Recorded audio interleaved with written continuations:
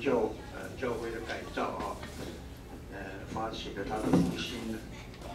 所以罗马天主教它是在一切垄断，政治方面还有就是教皇方面，教皇就等于是皇帝一样，然后也代理神的职务。然后一直到后来这些马丁路德啊这些人的呃觉悟啊，就一切还是以圣经为根本的。啊，没。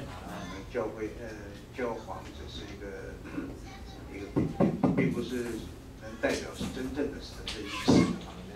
那么在天主教里面还有一些活动，就是说，呃，我们要告解，告解以后透过神父才能祷告啊，教徒不能祷告。啊，这个这这个里面都有一些，还有一些什么，找一些一些赦罪券啊，就是说你拿钱可以来买，在跟教会买赦赦赦免罪的券，啊，都非常腐败。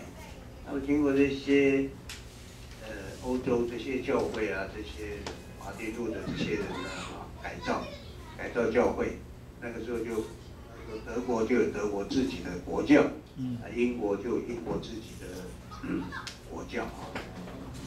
那么这个教会里面一直在分，一直在这个分门别类哈，呃，一一一直在这个福音的根深哈。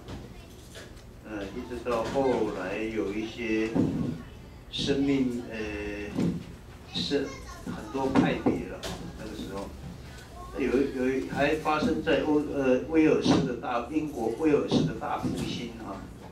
在伯夫纳奇和和这两个城市，是威尔士大复兴的发源地。那么这这个地方的全城的人都得救，以致没有再可以传福音的对象。阿门。那这复兴的领导人是罗伯斯伊凡，阿门。他是一个矿工，二十二岁。那么再再来就是到后来的开西大会，开西大会是在北英格兰。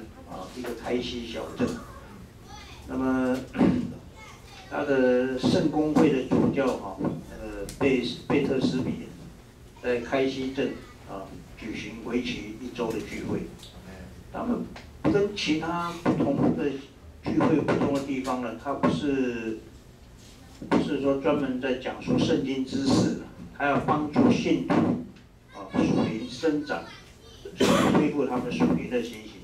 好妹，所以这个从这一段，从这一段这个欧洲的教会的演变，可以看这个神在复兴的过程当中的一些一些过程，让我们了解。